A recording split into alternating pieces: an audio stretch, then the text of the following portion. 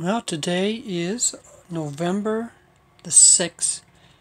The high inside here was 33, which has been typical if we have a sunny day. She will warm up. I've put in a grow grow light, LED based, and I'm trying to see whether I can get the tomatoes to not just flower, but to grow some tomatoes.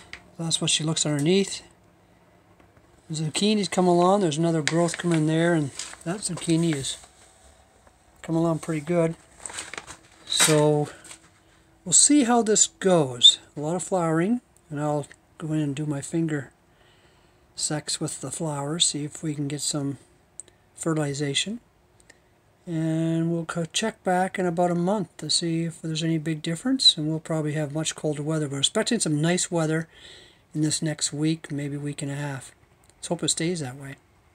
All through winter would be great. Anyways, it is November 6, 2020.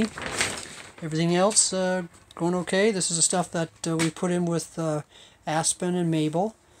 Uh, they've come, but not a great deal. But we've had a lot of cool weather. Minus 8 was the lowest we've had. A lot of cloudy days. The carrots are doing okay. It seems like they come up a little bit more today.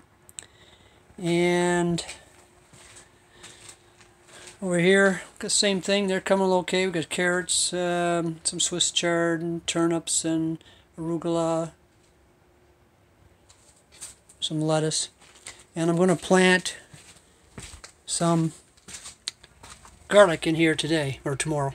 I'll put it in here. This little cold frame itself. It gets cold in there though, so we'll see whether next week I'll get a little germination before they go to sleep. That's it. I'll